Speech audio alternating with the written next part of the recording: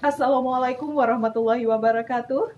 Kembali lagi di Kabar Madrasah bersama saya Devi Agustina yang akan menyajikan informasi terkini dan teraktual seputar Madrasah Sanawiyah Negeri 4 Tabalong, Kalimantan Selatan.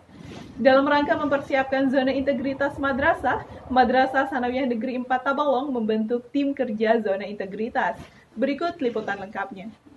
Dalam rangka mempersiapkan zona integritas madrasah, Madrasah Sanawiyah Negeri 4 Tabalong membentuk tim kerja zona integritas pada hari Sabtu 12 Juni 2021.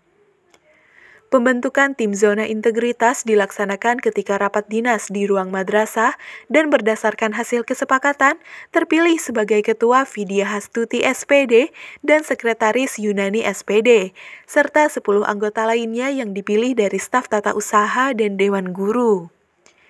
Vidya selaku ketua tim zona integritas mengatakan akan segera berkoordinasi dengan madrasah yang telah menerapkan zona integritas. Kami akan segera melakukan kunjungan ke insan cendikia Tanah Laut untuk memperoleh informasi dan pendampingan terkait zona integritas madrasah menuju wilayah birokrasi bersih dan wilayah bebas korupsi serta melayani. Dari Tanjung, tim Humas MTSN 4 Tabalong melaporkan. Demikian kabar madrasah hari ini. Saya beserta segenap kru yang bertugas pamit undur diri. Madrasah Sanawiyah Negeri 4 Tabalong, bersih, sehat, dan agamis. Wassalamualaikum warahmatullahi wabarakatuh.